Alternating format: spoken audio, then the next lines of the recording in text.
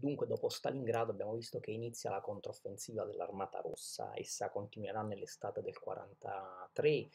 e proseguirà per tutto il 44. Nell'estate del 44 l'Unione Sovietica ormai li, eh, ha ormai eh, ricacciato oltre il, i suoi confini eh, l'esercito del Terzo Reich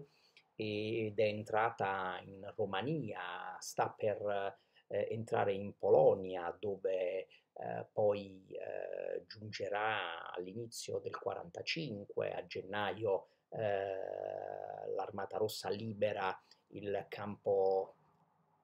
di sterminio di Auschwitz-Birkenau eh, il 27 gennaio del 1945. Dunque, dopo Stalingrado potremmo dire che inizia la controffensiva sovietica eh, sul fronte meridionale ucraino, eh, la grande marcia cosiddetta offensiva nel fango del maresciallo Konev, i successi di un altro grande maresciallo, eh, come dire, è diventato mitico, la cui figura è diventata mitica per la storia dell'Unione Sovietica, il maresciallo Zhukov,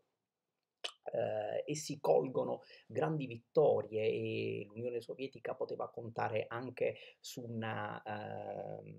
superiorità di uomini e mezzi nel 1944 peraltro a giugno era iniziata l'operazione Overlord, lo sbarco nella Francia settentrionale, eh, lo sbarco in Normandia che aveva aperto appunto un, un nuovo importantissimo fronte nel nord della Francia con operazioni guidate da quello che poi sarà il futuro presidente degli Stati Uniti d'America, Dwight Eisenhower, il generale Eisenhower, che nel mentre aveva lasciato il comando eh, delle operazioni nell'area del Mediterraneo e quindi anche in Italia ad altri generali e aveva preso, preso la guida delle operazioni eh, nel nord della Francia, quindi i tedeschi i nazisti devono spostare uomini eh, sul fronte occidentale e subiscono così la controffensiva eh, sovietica. E però dobbiamo un attimo soffermarci sul 43 perché alla fine del 42 era iniziata nel contesto dell'Europa occupata dai nazisti eh, la pianificazione della cosiddetta eh, soluzione finale eh, del problema ebraico, eh, quello che i nazisti definivano appunto il problema ebraico, ovvero la soluzione finale. Eh, veniva pianificata la Shoah, la grande catastrofe, il grande sterminio che porterà alla eh, uccisione di eh, oltre 15 milioni di ebrei europei residenti nei territori occupati dalle, dalla Wehrmacht, dalle SS, dalle truppe del Terzo Reich, compresi ebrei italiani, compresi i nostri connazionali, mandati a morire nei campi di sterminio dai nazisti e dai fascisti della Repubblica Sociale Italiana. Saranno oltre 6.000 i cittadini italiani che non torneranno più dai campi di sterminio, caricati in vagoni, smistati nei campi eh, di transito come Fossoli, vicino Carpi, e poi mandati gli italiani quasi tutti, gli ebrei italiani quasi tutti ad Auschwitz-Birkenau, il luogo dove si dirigevano i vagoni piombati dall'Italia che attraversavano poi mezza Europa per arrivare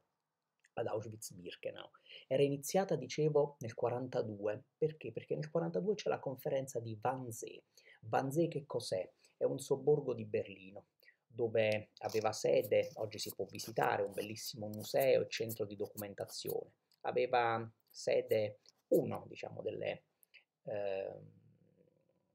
dove era diciamo, collocata una delle sedi dell'SS, era una villa eh, che era appunto una sede, una, al suo interno c'erano degli uffici, eh, era un centro strategico dell'SS lì a Banzé c'è una grande conferenza, la conferenza di Banzé, una riunione segreta dei vertici dell'SS. Eh, a questa riunione partecipano figure come Adolf Eichmann, ad esempio, eh, che sarà reso celebre eh, da Hannah Arendt, che racconterà il processo mh, mm, ad, proprio ad Adolf Eichmann avvenuto negli anni 60 in Israele, dopo che Eichmann, fuggito in Argentina alla fine della guerra, quindi era riuscito a farla franca, a non essere portato sul banco degli imputati di Norimberga, fuggito in Argentina attraverso l'organizzazione segreta che i nazisti avevano messo a punto immaginando già la necessità di darsi alla fuga dopo la guerra, scovato in Argentina dai servizi segreti israeliani, Adolf Eichmann sarà processato e condannato a morte in Israele nei primi anni 60 e Hannah Arendt, la grande filosofa e in questo caso eh, reporter del New Yorker, di un giornale appunto statunitense, sarà appunto inviata e racconterà il processo Eichmann e ne verrà fuori un libro molto celebre che ha come titolo La banalità del male, che vi invito a leggere. Bene, alla conferenza di Wannsee si decide la creazione di centri appositi di sterminio, eh, alcuni sol- dovevano essere solo centri di sterminio, altri avrebbero affiancato eh, lager già esistenti, come Auschwitz ad esempio, altri sarebbero stati sia campi di concentramento che di sterminio, ma comunque l'idea era quella di strutturare in modo diverso quello sterminio già in atto in altre forme eh, nei confronti, eh, quello sterminio già in atto in altre forme eh, contro eh, la popolazione eh, ebraica. Perché dico sterminio già in atto in altre forme? Perché già dall'inizio del conflitto, segnatamente eh, dal 30, anzi potremmo dire dal 38-39 in avanti, eh, già dopo la notte dei cristalli, ma soprattutto dopo l'inizio della guerra contro l'URSS nel 1941, i nazisti in, eh, con l'SS e attraverso quelle che ho appunto già descritto come le Einsatzgruppen, cioè i reparti speciali dell'SS, avevano già operato nelle retrovie, nel territorio, potremmo dire, occupato dalla Wehrmacht dell'Unione Sovietica, avevano già agito in quel territorio appunto occupato dalla Wehrmacht eh, con modalità terroristiche stragiste nei confronti degli ebrei e della popolazione civile. Nell'Unione Sovietica occupata dai nazisti vi è una caccia all'ebreo sistematica che termina sempre con fucilazioni, esecuzioni di massa e cadaveri gettati in fosse comuni. Sono centinaia eh, di migliaia, milioni alla fine le eh, vittime di questa carneficina che avveniva attraverso fucilazioni e eh, cadaveri poi occultati in fosse comuni, delle modalità che eh, sul lungo periodo cominciarono a diventare insostenibili, se ne accorse anche il capo dell'SS, il Reichsführer SS eh, Himmler, che eh, doveva costantemente prendere atto di rapporti che raccontavano di episodi di eh, cedimento dei soldati semplici e delle, di membri dell'SS, delle Einsatzgruppen, chiamati a queste operazioni, diciamo, a svolgere queste operazioni terroristiche di stragismo nei confronti di bambini, donne, vecchi, eh, quotidianamente eh,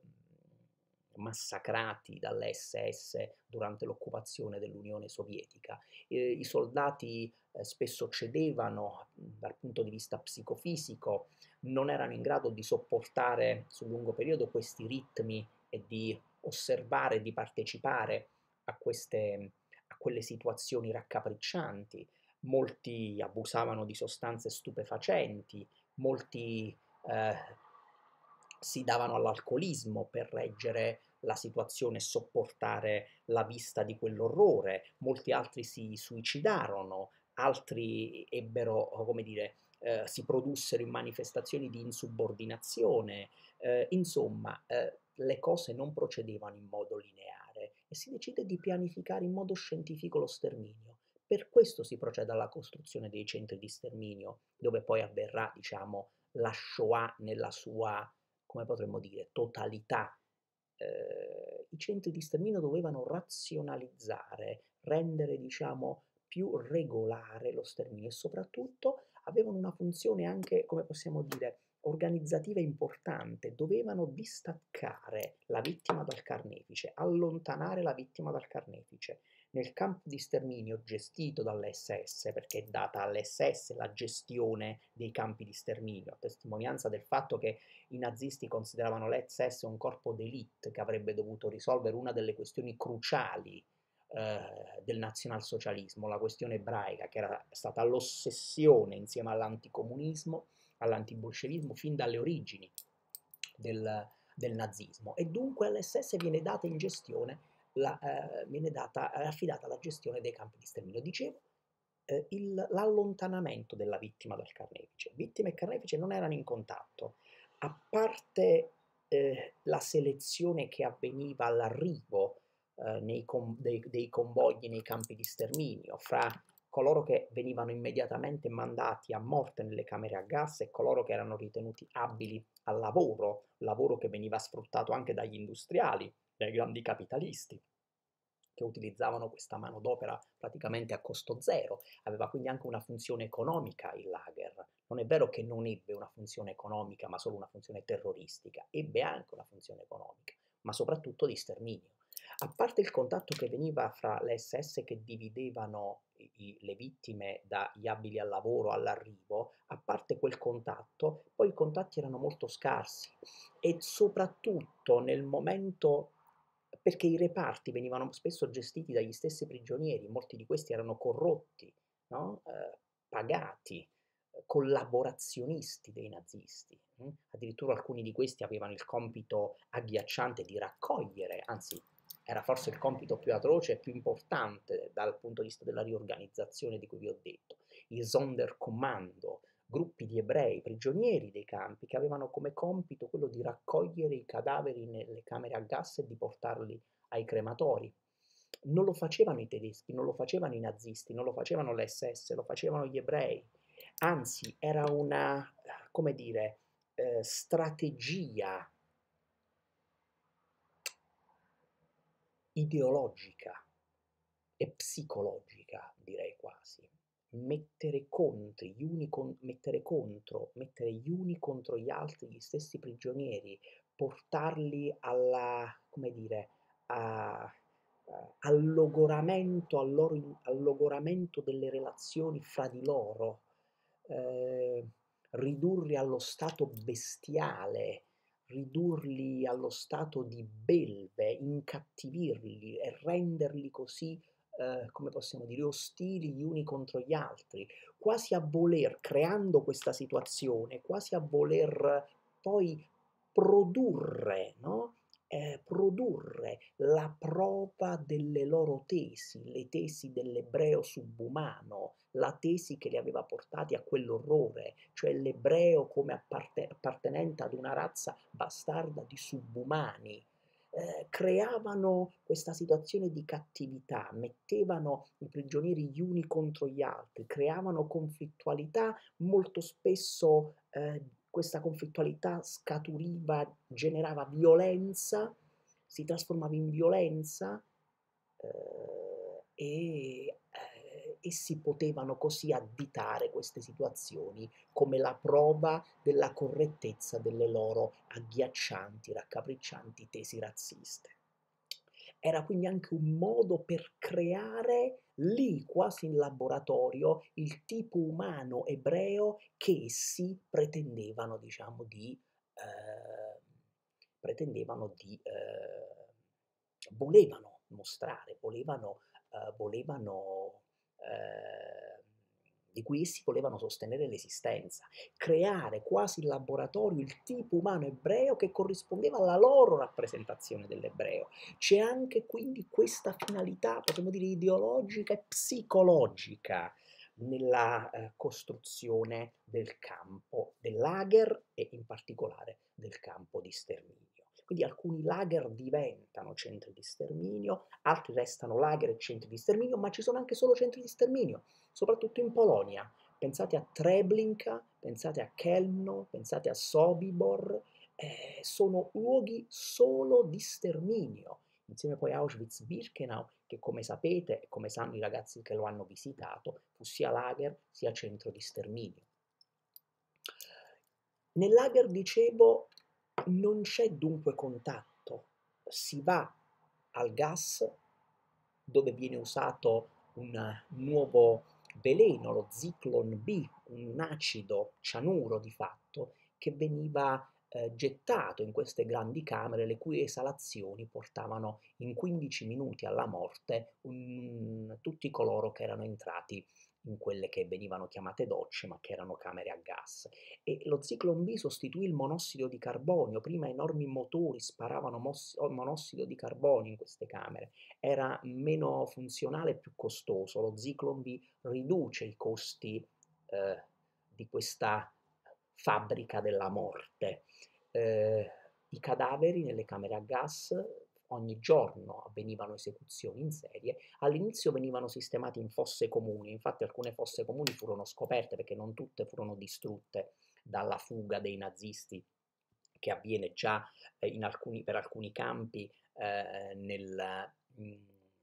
per alcuni lager alla, alla, fine del 44, all'inizio del 45, di fatto eh, iniziano Pensate che Auschwitz appunto viene liberato il 27 gennaio 45, negli ultimi mesi della guerra i campi sono stati liberati e quando venivano liberati iniziavano le marce della morte, non venivano liberati semplicemente con la smobilitazione e la partenza dei nazisti. I nazisti sadici e eh, avendo odio, ass- un odio assoluto nei confronti degli ebrei, costringevano gli ebrei sopravvissuti ancora presenti in quei luoghi a sostenere marce della morte di centinaia di chilometri che questi poverini sostenevano a piedi, morendo ovviamente in grande numero durante queste marce forzate, che erano poi marce verso il nulla, eh, perché i nazisti eh, si stavano ritirando, non sapendo neppure cosa avrebbero trovato una volta tornati in Germania, infatti troveranno una Germania schiacciata da un lato dagli alleati angloamericani, dall'altro lato dalla, eh, inseguiti dall'Armata Rossa e questi poveracci erano costretti alle marce della morte eh, che eh, erano l'atto finale, diciamo, dopo la liberazione dei lager. I lager venivano fatti saltare in aria, le prove eliminate, i nazisti non erano stupidi e sapevano hm, cosa ehm, avrebbe comportato, cosa avrebbe comportato la scoperta dei loro crimini. Fanno saltare in aria tutto, fanno saltare in aria i forni, eh, fanno saltare in aria le fosse comuni e proprio per non, dire, lasciare eh, fosse comuni troppo grandi e proprio per gestire meglio questa fase, potremmo dire così, dopo le esecuzioni, viene creato il crematorio. Il crematorio serviva a eliminare i cadaveri, praticamente, a trasformarli in polvere. Questa è, dra- è la drammatica funzione del forno crematorio. Un forno crematorio esiste, eh, fu costruito anche in Italia. Non pensiate che la storia dello sterminio riguardi solo i luoghi, diciamo, dell'Europa orientale occupata o della Germania nazista, riguarda anche l'Italia, nella risiera di San Sabba, che era un lager costruito dai nazisti, dai nazifascisti a Trieste, controllato dall'SS, dai nazisti che in quell'area, come sapete, il litorale adriatico avevano il controllo diretto del territorio, avendo sottratto quella zona ai loro servi della Repubblica Sociale Italiana, eh, Trieste era troppo importante per eh, essere lasciata alla Repubblica Sociale, alla Repubblica di Salò, i nazisti la controllano direttamente. Lì costruiscono l'unico lager con forno crematorio in Italia, la risiera di San Sabba, dove saranno bruciati eh, centinaia di ebrei, di oppositori politici, di antifascisti, di partigiani. Eh, catturati prima e, prima e seviziati poi dalle SS, anche in questo caso con la collaborazione delle, eh, della, della, eh, della, dei eh, collaborazionisti della Repubblica Sociale Italiana. Quindi il dramma della Shoah è il risultato di un ripensamento dello sterminio che avviene dopo la conferenza di Wannsee e che porta alla creazione dei centri di sterminio. Hm? I più importanti di questi e solo centri di sterminio in Polonia, eh? ripetiamo, eh? Treblinka, Kelmno, Sobibor, ehm, Auschwitz-Birkenau, eh, sono i luoghi della morte, sono i luoghi della morte dove eh, avverrà la, eh, più grande, la più grande catastrofe della storia del Novecento, eh, da tutti i territori dell'Europa occupata, l'Ungheria, eh, la Boemia e la Moravia, la Polonia stessa, ovviamente la Germania, l'Austria, l'Italia, eh, i Balcani, verranno eh, l'Europa occidentale, la Francia, dalla Repubblica di Vichy, dalla Francia occupata, dall'Olanda, Anna Frank, che verrà deportata in un campo eh, di eh, sterminio, di concentramento, di sterminio tedesco, dal Belgio, centinaia di treni piombati partono per i centri di sterminio, eh, carri eh, della morte, carichi di vittime che vengono schedate, eh, raccolte in elenchi eh, che poi l'SS e i collaborazionisti gestiscono come una sorta di contabilità della morte, tanto che Eichmann, che fu uno dei più eh, solerti eh, organizzatori, come dire, dello sterminio, fu chiamato il contabile della morte. Eh, questi elenchi venivano compilati e da questi elenchi si partiva, eh, si muoveva per la raccolta, il rastrellamento delle famiglie ebraiche che poi venivano eh, arrestate e deportate. Eh, negli anni 42-44 vi è anche un altro fenomeno nell'Europa occupata, pensate soprattutto alla Polonia, la creazione dei grandi ghetti. Prima della deportazione in molte città polacche, penso a Varsavia, il ghetto di Varsavia, penso a Lodz, sempre in Polonia, eh, vengono creati grandi quartieri nei quali vengono tenuti quasi, come dire, come in una sorta di prigione a cielo aperto eh, gli ebrei di quella città, dei quartieri prigione dal, dai quali gli ebrei non potevano muoversi, circondati da muri e filo spinato. La fase che precede la eh, deportazione e lo sterminio è quella della ghettizzazione, anche perché molto spesso i ghettizzati erano poi trattati come manodopera schiavistica dai nazisti e a Varsavia, nel ghetto di Varsavia, vi è anche grande, un grande episodio di resistenza, l'organizzazione eh,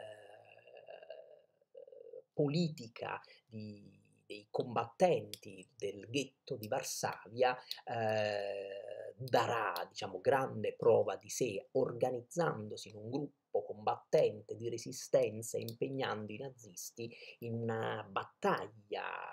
casa per casa fino, ahimè, all'annientamento e poi alla deportazione di quasi tutti gli ebrei di quella città. Quindi ci sono anche grandi episodi di resistenza, come appunto la famosa resistenza del ghetto di Varsavia eh, è straordinaria questa storia, l'organizzazione eh, ebraica di combattimento, lo Zob, che era guidato da un eh, eh, da una figura mitica, Mordecai Anielewitz, eh, che appunto nel 42, nel 42 eh, impegnò, impegnò eh, i nazisti in una